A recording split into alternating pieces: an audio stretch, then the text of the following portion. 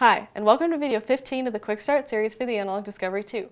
In this video, we'll go over the script editor. In addition to the 11 tools that we've discussed in previous videos, the Analog Discovery 2 in Waveforms 2015 provides a script editor for taking more complex or automated measurements.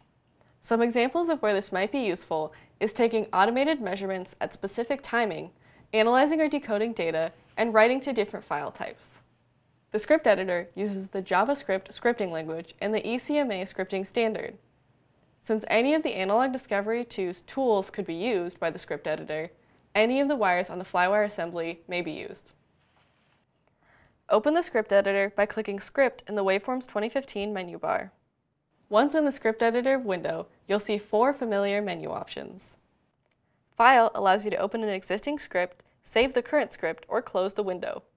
Control allows you to debug, run, stop, or abort the script editor. View gives you access to three windows. By default, output and code completion are checked. Output is the window on the bottom that shows the output of the code. This would include errors and any print messages. Code completion turns on code completion, which gives you options to complete what you might be typing. The last option is add plot, where you can add a plot if your script requires it. Window allows you to switch between any of the open windows in Waveforms 2015, including the Help tab. The Help tab will become especially important in the script editor. Below that are the menu options that control the script editor. Debug will open the Qt script debugger. This is similar to any standard debugger, where you can add breakpoints and step through your code to find potential issues. Run lets you run the code, and when you click Run, Stop and Abort will no longer be grayed out. Stop stops debugging or execution.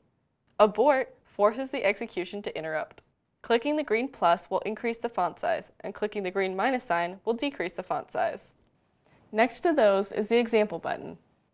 Here you'll find several example scripts. There is an example using the scope, the scope in WaveGen, the static I.O., and a piano playing music from the waveform generator. Below that is the text editor, where you can write your script. It has all the familiar features of any text editor that you might write code in. You can tab lines to indent your code, and certain features of the code are colored for clarity.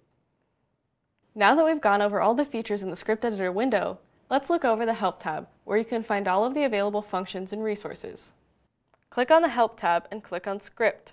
Scroll past everything we've already gone through down to the Code section. This section describes the instrument object, any relevant child objects, and all functions you can call. Below that, you'll find an additional example. If you run into any trouble when creating scripts for your specific application, remember, your questions are always welcome at forum.digilentinc.com. Now you know the basics of the script editor, where to find the information you need, and how to get your questions answered. Subscribe to stay up to date to Digilent's products and services. Thanks for watching!